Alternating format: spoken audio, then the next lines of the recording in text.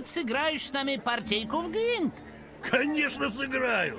Меня уговаривать не надо, мелкий. Не стоит его обзывать. Простите, я не хотел никого оскорбить. Если б не хотел, то не назвал бы его мелким. Я же извинился, что еще? Цветы ему подарить? Лучше играй, а не болтай. Играем, играем. На что ты хочешь играть? На все, что есть. Вот моя ставка. Я не знала, что ты такой азартный. В эту ночь ты много моих достоинств узнаешь, милая. Больших достоинств.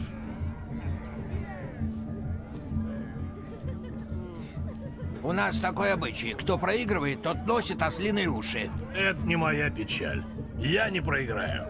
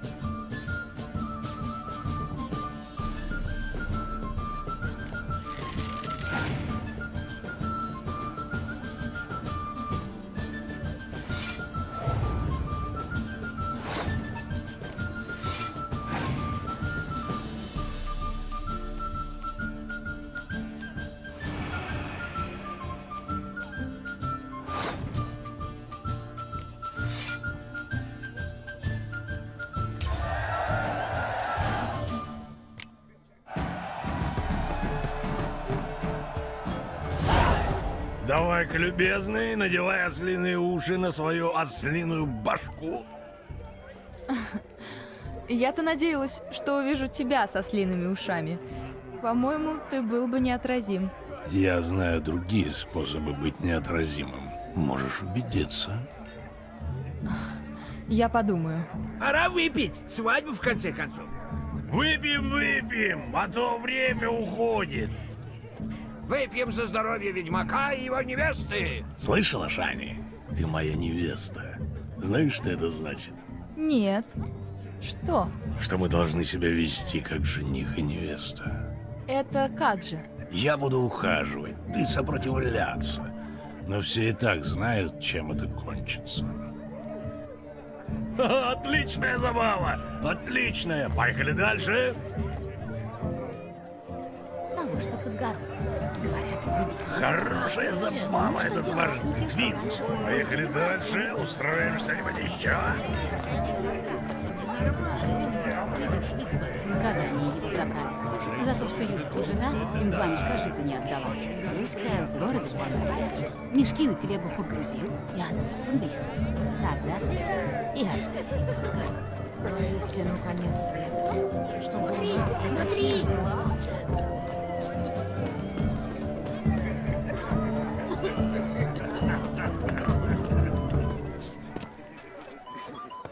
Смотри-ка, Шани. Лестница прям-таки приглашает нас. Лестница прям-таки приглашает нас. Лестница прям-таки приглашает нас. И бежать вверх. И смотри-ка, Шани. Лестница смотри приглашает нас. Лестница прям-таки приглашает нас. И бежать вверх. И Ну давай. но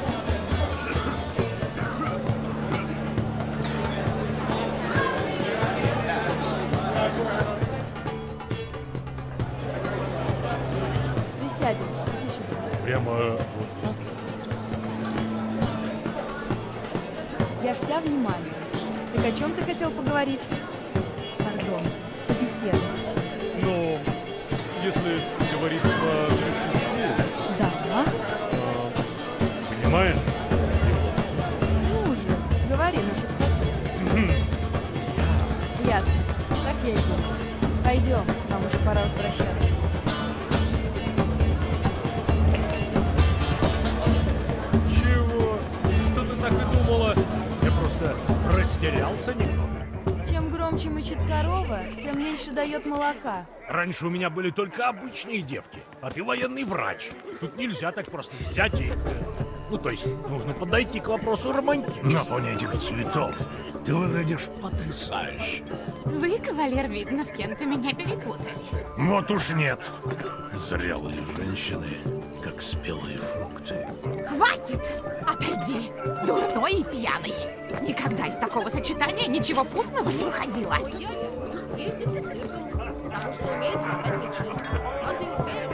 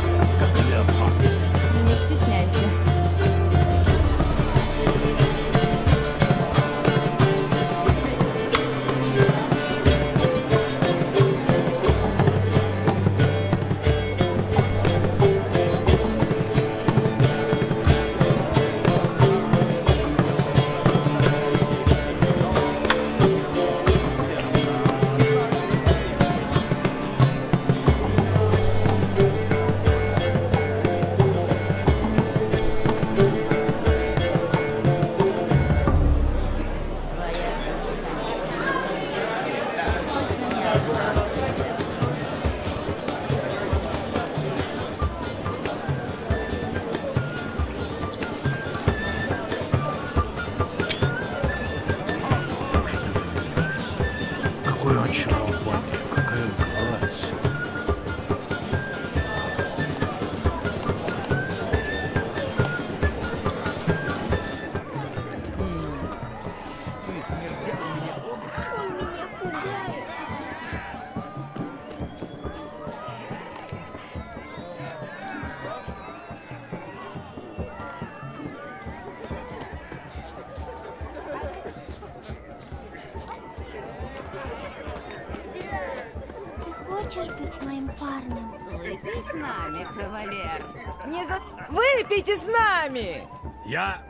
Женщинам никогда не отказываю. За вашу красоту. Ну, и за твою, Шани, конечно, тоже. Будьте здоровы. Счастья тебе и удачи, Белый Волк! Ты возьмешь меня на путь?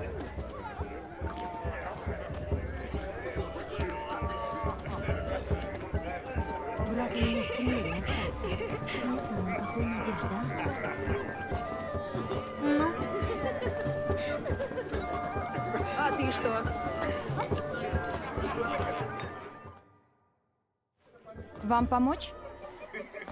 Шани, дорогая моя, ты не поверишь, что случилось. Единственную дочь свою выдаю замуж, так что свадьба должна быть на зависть. Вот я и заказала настоящего пожирателя огня. О, никогда не видел такого фокусника.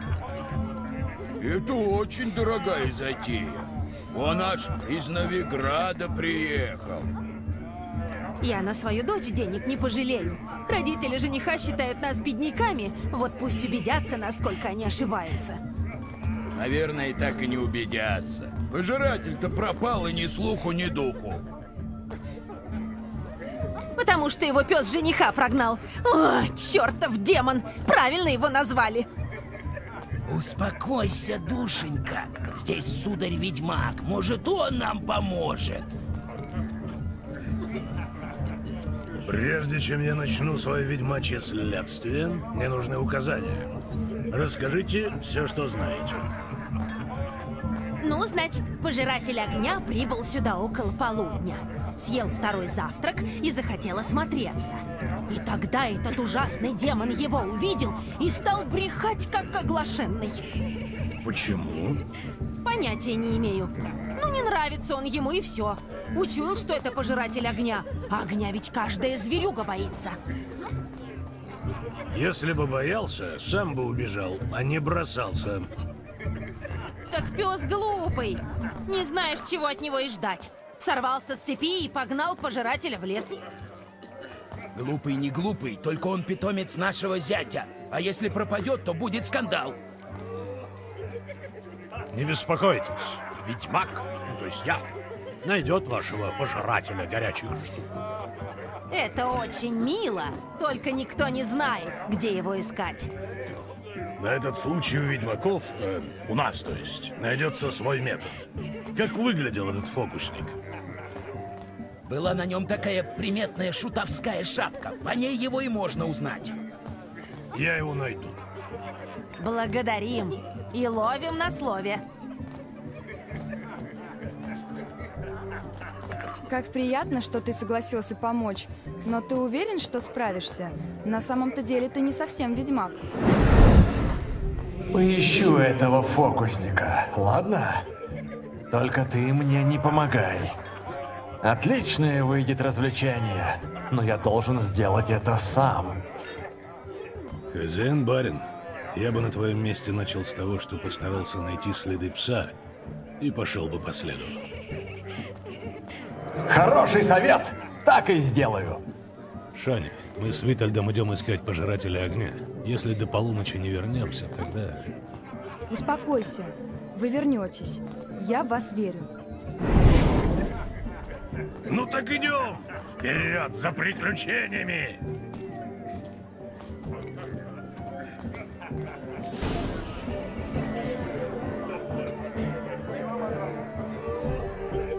Я надеюсь, что этот мутант найдет пожирателя огня. Столько денег на него ушло. Не бы хотелось, чтобы он и демона нашел. А то зачем же нам со свободой ссориться?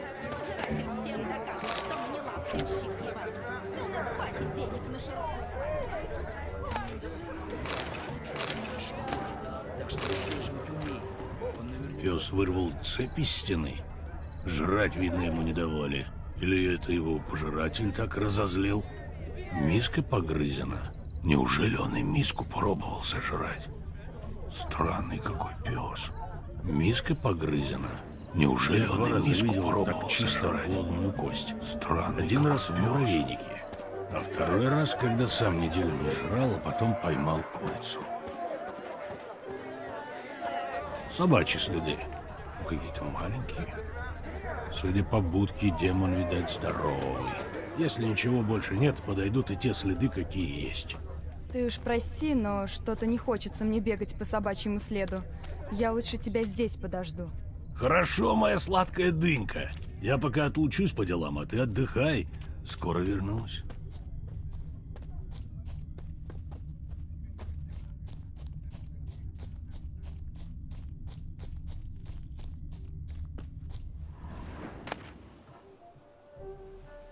Вот эта шапка пожирателя огня. Говорили, что она дурацкая. Должно быть, он ее потерял, когда убегал от демона. Вот и два вывода. Пожиратель жирный и трусливый.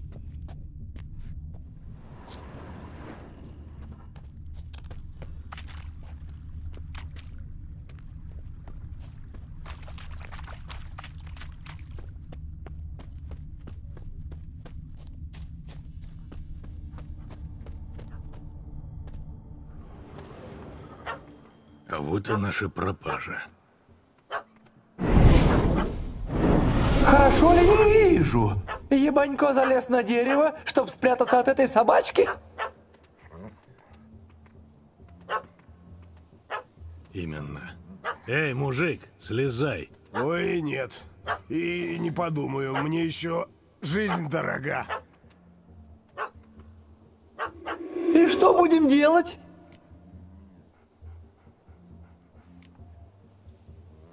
Так ты не знаешь, как быть с таким злобным песиком? Я бы его прогнал палочкой. Только это как-то не по-ведьмачьи. Зато действенно.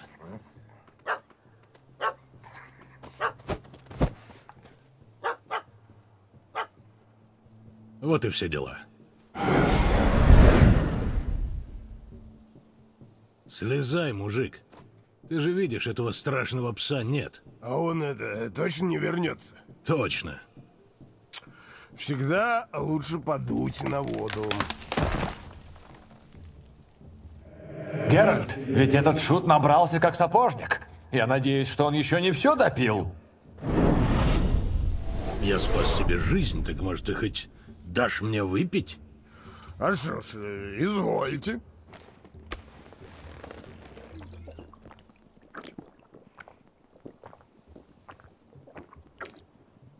Замечательный мед. Я понимаю, почему ты решил с ним на дереве уединиться. Мед э, хорош, только я от пса убегал. Хотя разве же это пес? Чудовище это было! Воистину демон! Правильно его назвали. Как получается, что человек, который каждый день играет с огнем, боится маленькую собачку? Это чудовище было, демон! Да слышал я уже. Трус ты сиволапый, вот и все. О, я бы попросил. Я не трусливый, я осторожный. Знаешь, что было бы, если пожиратель огня пренебрегал осторожностью, а? Хм. Наверное, поджарил бы себе язык. Угадал. Ну вот, теперь ты все понимаешь. Вот тебе твоя шапка. Ты ее потерял, когда от пса бегал, как настеганный. О, шапочка моя любимая. Удачу мне приносит. На каждое выступление ее надеваю. В таком состоянии о выступлениях можешь забыть. А в каком это я, интересно, состоянии, а? Посмотри на себя, Тартыга. Ты едва на ногах держишься.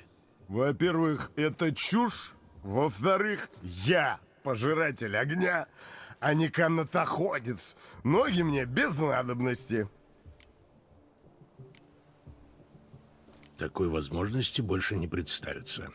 Расскажи мне, как глотают огонь? О, нет.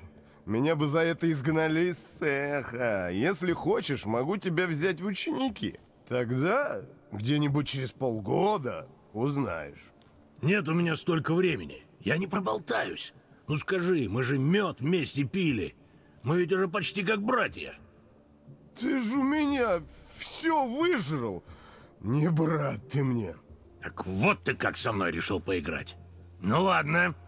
Если ты мне не скажешь, я тебя тут брошу на расправу к кабанам, медведям и кровожадным оленям. Так что выбирай.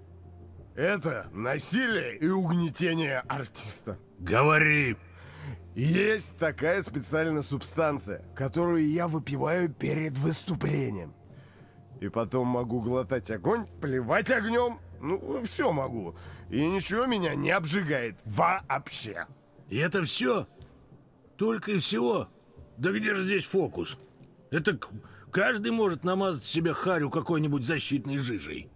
Довольно. Сначала меня травят собаками, потом отбирают у меня выпивку, да еще и оскорбляют. Хватит с меня. Я ухожу. Не хотел я оскорблять этого шарлатана. Сделай что-нибудь.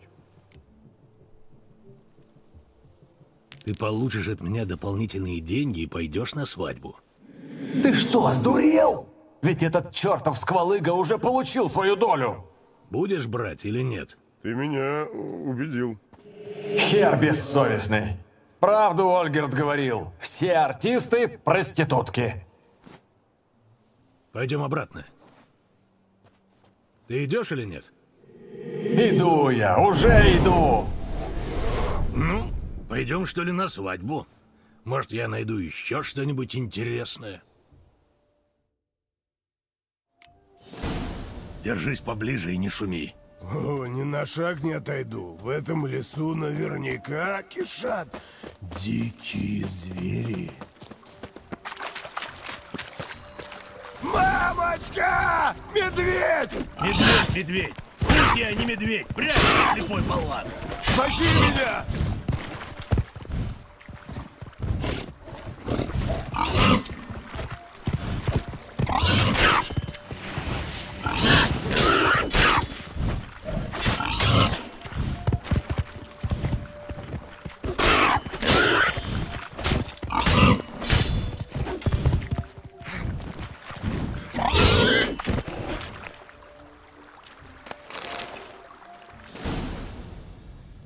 Ты когда-нибудь видал медведя, похожего на кабана? У меня зрение слабое, и потом я ведь пожиратель огня, а не натуралист. Ну да, ну и видно. Чуть не забыл. Я ведь даже не спросил, как тебя звать. Давид Автенсбора. Послушай, Автенсборо, держись меня, и ничего плохого с тобой не будет. Отведу я тебя, пьяная морда, на свадьбу в целости и сохранности.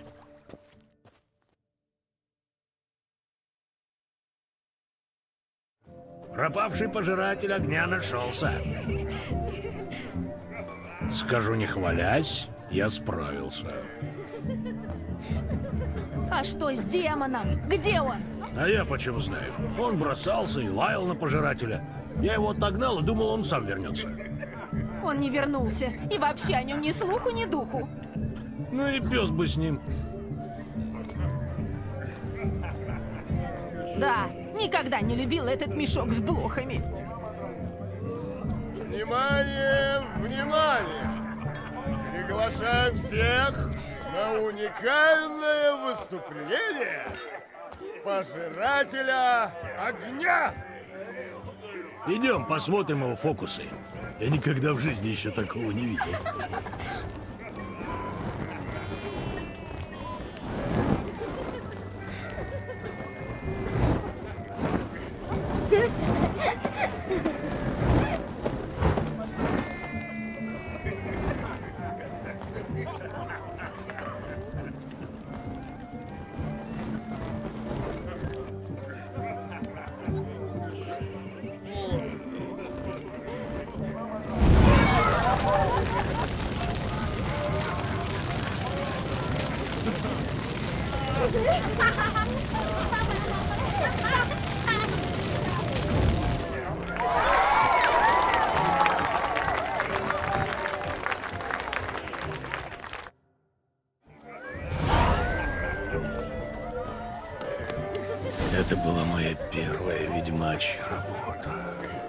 Нашли пожирателя огня, спасли его шкуру. Будь у меня вторая жизнь, стал бы ведьмаком. Наверняка. А до тех пор развлекайся и ни в чем себе не отказывай.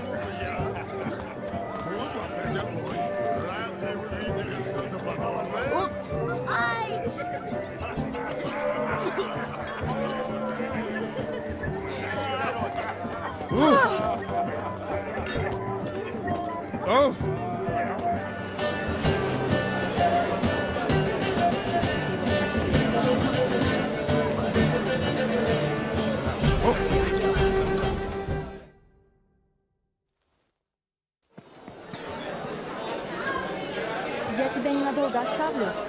Подружка невесты, так что должна участвовать в обряде. Иди, Шань. Я тут сам разберусь.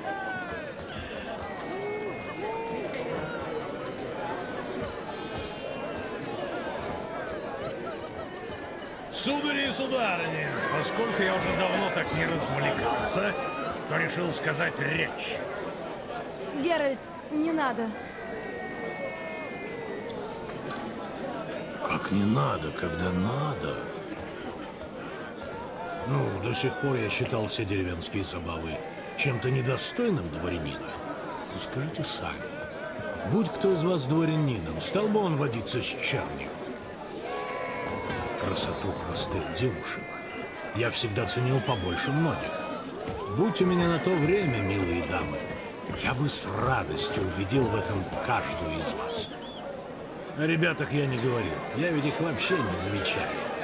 Была у меня пара неплохих конюхов, но никогда я с ними не болтал. И не стал бы, даже за деньги. Должен же человек иметь принципы, разве не ты? Но сегодня, сегодня все изменилось. Благодаря вам я понял, что деревенщина — это тоже человек. Говорить мне с вами по-прежнему не о чем, но мне это уже не мешает. И спасибо вам за это. Я люблю вас.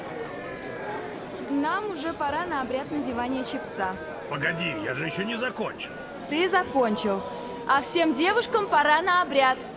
Значит, и тебе, Шани. Вот полночь на башне пробила, невесте выносит чепец. Все знают, что воле девичьей отныне приходит конец. Кому грех, кому смех, кому сон, кому звон, кому добрый молодец, а молодой жене чепец. Чем жена усердней, знаем по примете, тем скорее родятся в этом браке дети. Уж не прогневитесь, мы поем для смеху, пусть нам теща чарку поднесет в утеху. Хоть жена супругу верности клялася, Свекор будь построже, чтоб не увлеклася. Что ж ты, муж, гадаешь, что глядишь сурово, Верно определенно будет и корова, Будет и корова, будут и телята, Чтобы жить вам долго, мирно и богато. Примите, та, что поймает венок невесты, следующий выйдет замуж.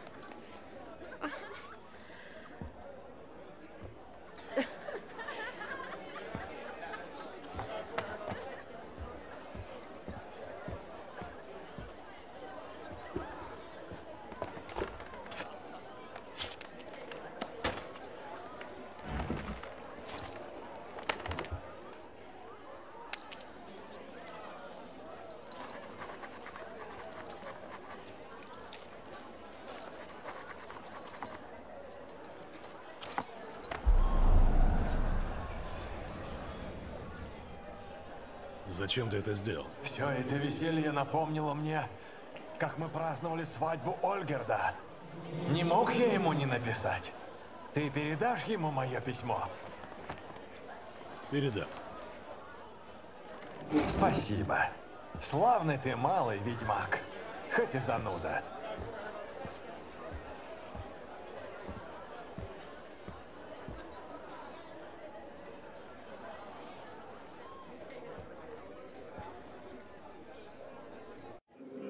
Замечательный обычай. Девушки раскраснелись, танцуют, волосы распущены, рубашки расстегнуты, а под ними... Может, хватит? Ты видел? Шани поймала венок. По мужицким поверьям, она первая выйдет замуж. Может быть. Полночь пробила. По нашему уговору тебе пора вернуться в склеп. Нет уж, я тут еще не закончил. Дух Витальда ушел? Видишь, она спрашивает обо мне, значит, скучала. Я здесь, моя сладкая. Наш поцелуй так запал мне в сердце, что пусть меня сошлют на вечные муки, но я не уйду, пока не получу еще один или два. И вообще приму все, что дашь. Я рада, что ты хорошо провел время. Поцеловала меня. А я знал, что так и будет. И это только начало. Нет, это конец. Уже полночь, и тебе пора уходить. К чему волноваться о таких мелочах? Покуда смерть обо мне не вспомнила, мы можем развлекаться от души. А как же Геральт? Ты ведь дал ему слово. Шани Золотцу, я ведь мертв. Не требуй слишком многого от трупа. Витольд фон Эверик, возвращайся туда, откуда пришел. Будь так добр. Не мешай мне.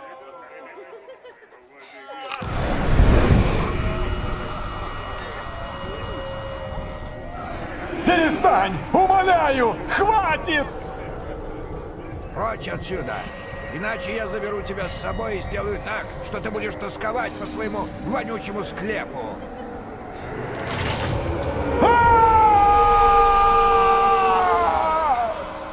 Мучай его. Обещаю, до смерти не замучаю.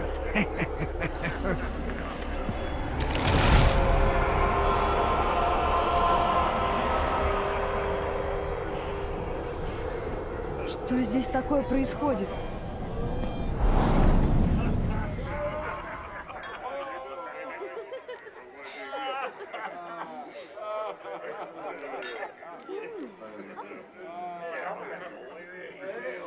Не должен был так над ним издеваться. Ну, конечно, я не должен был, но мог. Ты ведь не сделал ему плохо? Я только избавился от надоедливого гостя. Вам не было нужды дальше его терпеть. Понимаешь, Геральт выполняет одно задание, так что... Ох, Геральт всегда на задании. И всегда исчезает, как только управится. Кто знает, может, сейчас все будет иначе. Я видел, как вы смотрите друг на друга. Кроме того, я абсолютно случайно знаю ваше прошлое. Правда? Откуда? Шани, милая, ты же не станешь спрашивать орла, от чего тот умеет летать. Ну вот. А самое важное, что вам уже не будет мешать Витальд фон Эверик.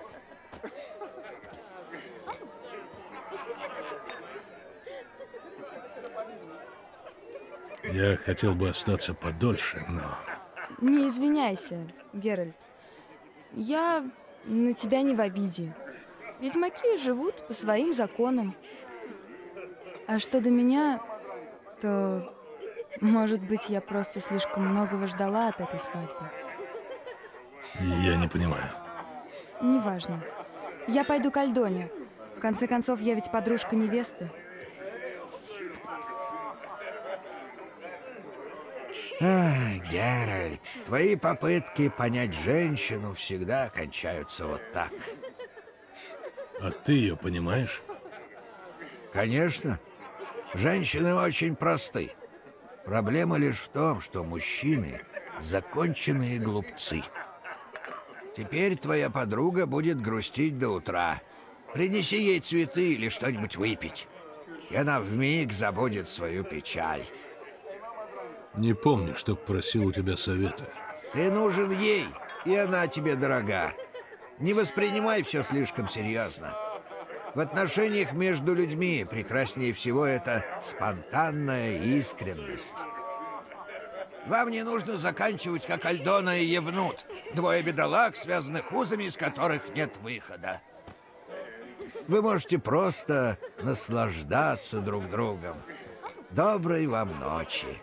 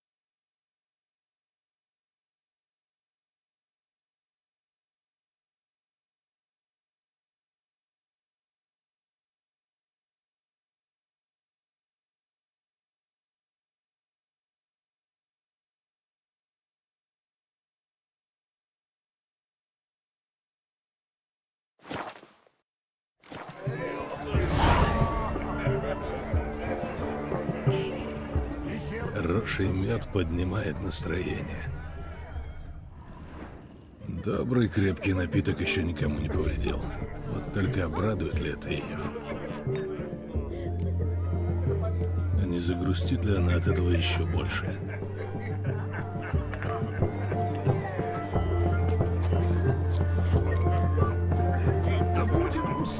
Твоя борода. Рад тебя видеть, Гера. Ну, чем заклад, я тебе уже где-то слышал, милоголовый.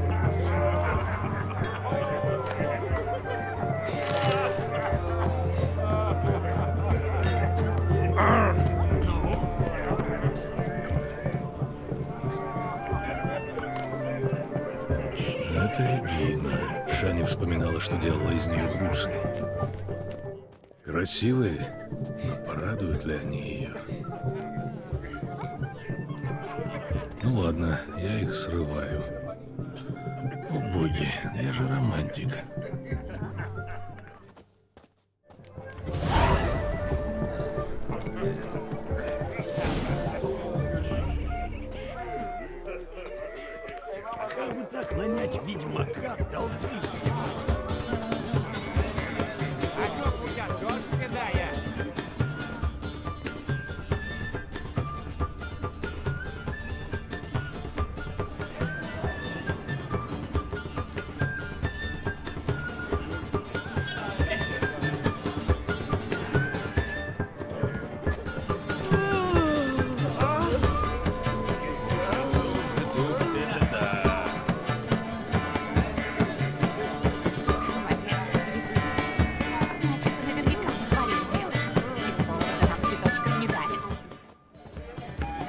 Здесь? Я думала, ты спешишь к Ольгерду. Мы так редко видимся. Ольгерт вполне может подождать меня до утра. Улыбнись, Шани. Ты помнишь, что я люблю рябину? Я про тебя многое помню. А вообще, почему ты такая грустная? На свадьбе люди веселятся. Грустная? Вовсе нет. Просто я задумалась, когда поймала этот венок. Я поняла, что годы идут, а я все только учусь, пришиваю ноги и все время одна.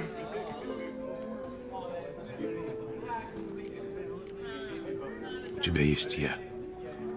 Насколько? На день? На два? Не пойми меня неправильно, все это очень мило, но ты приходишь и уходишь, А мне нужен кто-то, с кем я могла бы просто отдохнуть после целого дня операции и перевязок. Сесть, выпить вина, немного посмеяться. Понимаю. Что ж, я не могу быть с тобой каждый день, но я всегда радуюсь, когда мы видимся. А сегодня я весь твой. Ну хорошо. В таком случае выпьем за сегодняшний вечер. За этот вечер. Пусть он длится.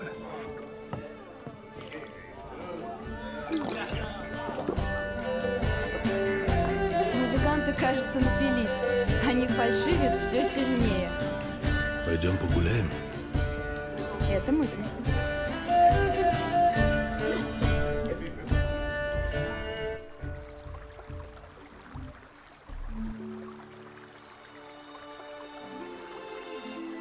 Тебе понравилась свадьба? Было неплохо. А если бы я не был одержим духом сумасшедшего, было бы совсем хорошо. Хотя, должен признаться, он заставил меня испытать то, что сам я вряд ли когда-нибудь попробовал бы. Ты имеешь в виду бегать по лесу за собакой или драться кольями? Ты не все назвала. Был еще поцелуй.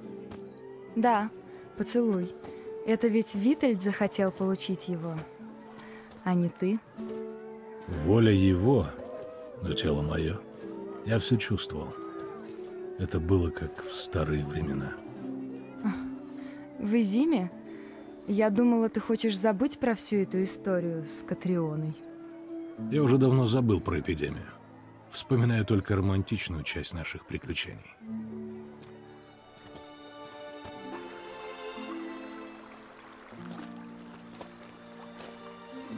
О деньгах-то вам вовсе незачем волноваться. Моя мастерская хорошо развивается. Это хорошо. А то у нас с денежками туго. Только не говори моей старушке, а то она расстроится, что я тебе признался. Да вы не беспокойтесь. Буду молчать, как покойник. Мы же должны помогать друг другу. Да вы! Хватит уже! Я Владик, но ты зови меня батя. Спасибо. Это для меня честь. Давай выпьем, батя. Семьи договорились. По пьяни тесть с зятем или заключают мужские союзы, или бьют друг другу морду. Я боялась, до свадьбы не дойдет. Это из-за разницы в доходах? Угу. Для семьи Евнута этот брак мезальянс. Ну, видно, что они любят друг друга. В таких случаях родители обычно уступают. М, ну, не знаю. Моя матушка вряд ли простила бы мне выбор неподходящего кавалера.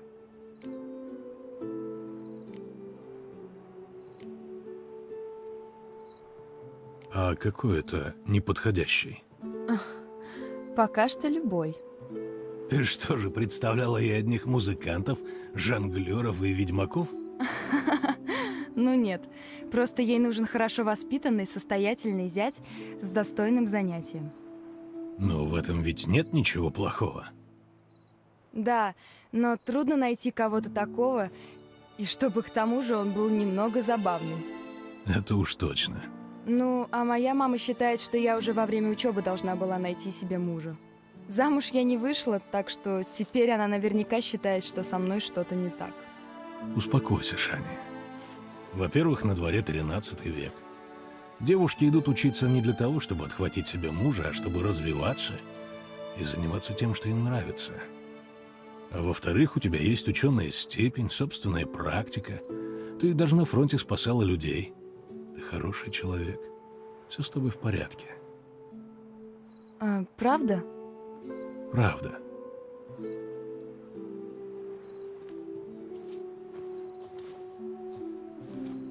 Погляди на этих отважных братьев. Пьяные в доску, хоть забор из них строй. Интересно, где их сестра? Сейчас бы они ее не защитили от четырехлетнего мальчишки. И если бы они не появились, ты бы затащил ее на сено. По-моему, она была не против.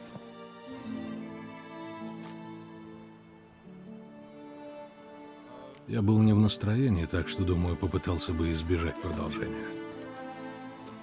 А я думала, ты бы воспользовался возможностью. А мне не нужно таких возможностей. Ммм, с каких это пор? Скажем так, я стал разборчив. Ты будто уже выбрал кого-то. Так и есть. Угадай, кого.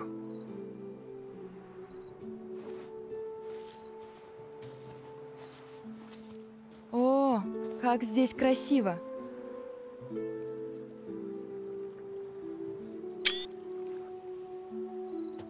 Я все думаю об этом поцелуе. Поцелуи? Когда сидевший во мне дух Витальда тебя поцеловал.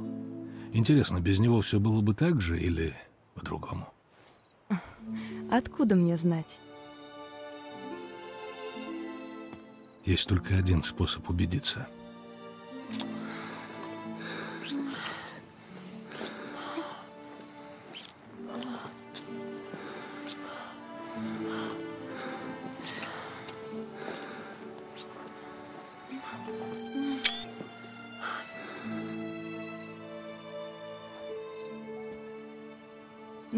Как сравнение?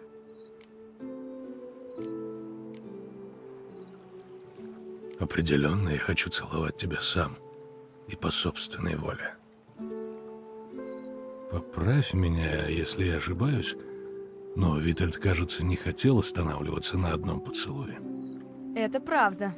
Он был очень настойчив, надо признать. В этом есть свои плюсы. Верно.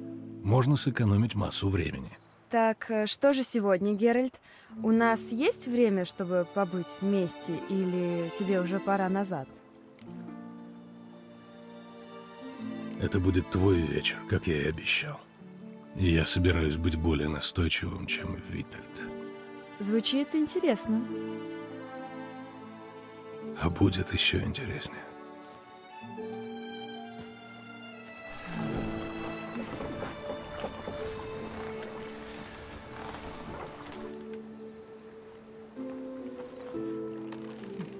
Надо же, причал занят. Местечко сейчас освободится.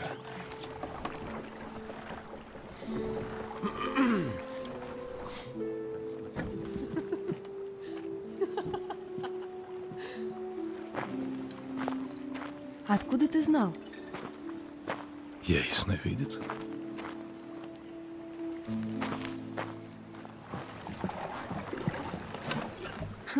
Почти полная. Жаль, добро пропадает. Если мы ее тут оставим, то кто-нибудь очень пьяный найдет ее, и для него это плохо закончится. А я приносила клятву, прежде всего, не навреди.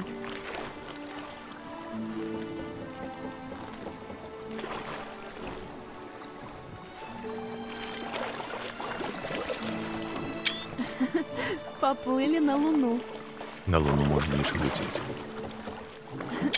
Не, посмотри, вот она, на середине озера.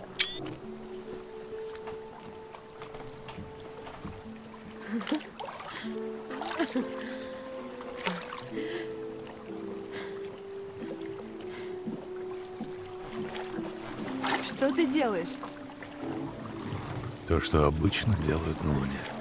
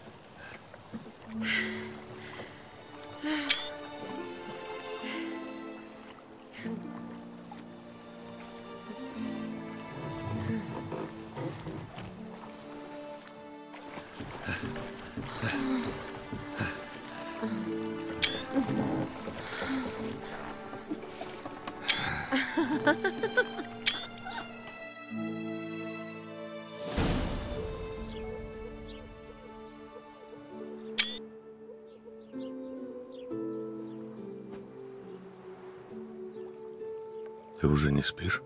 Давно. С тех пор, как мы с тобой в последний раз виделись, у тебя добавилось 27 шрамов. Ты считала. Угу. Иногда так получается. Мы доплыли до Луны. А ты уже не помнишь? Такое не забывается. Вот именно. Ты говоришь так, будто хочешь забыть.